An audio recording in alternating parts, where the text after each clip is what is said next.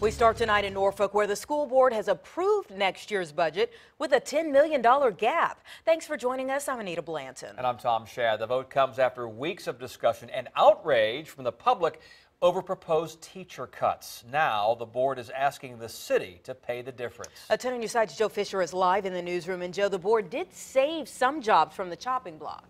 Well, Tom Anita, the school board delayed its vote last week after many people showed up angry over the superintendent's proposal. That proposal included cuts to 60 full-time positions, mostly because of declining enrollment in the district. Tonight, the board voted to save nine gifted resource teachers, despite efforts by some board members to save even more jobs. Ms. Wagner? Aye. Mr. Jordan? Aye. We now have a budget the price tag $329 million, 7 million higher than the current one. It cuts about 50 positions, including 22 elementary art, music, and PE teachers. Music teaches you how to count.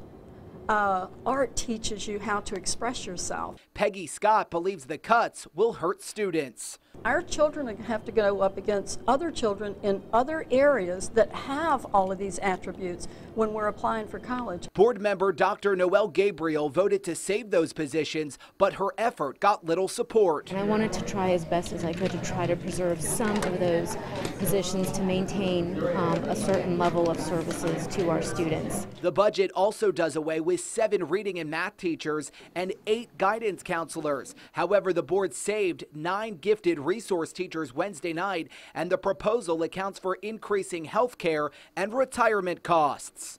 Is it a perfect budget? Absolutely not. However, Superintendent Dr. Melinda Boone says the budget addresses the district's needs. This at a time of declining enrollment, which means less money from the state. The state provides these resources, but at the level that the state provides them, it does not meet the needs of what the local community mm-hmm. feels is important right. in order to make sure our children have an excellent education. Board members say if the city doesn't help fund the $10 million gap, the cuts will continue. I think it's time that our city put a priority on our children and this budget is not final until the city decides how much of that $10 million to give to the district. Meanwhile, the superintendent raised concerns tonight about the White House's budget. She says proposed cuts to federal education programs could, if approved, cost the district another $5 million come October 1st. Live in the newsroom tonight, I'm Joe Fisher. 10 on your side. We told you about this story last week right here on Wavy News 10. For this story and all past coverage, go to wavy.com.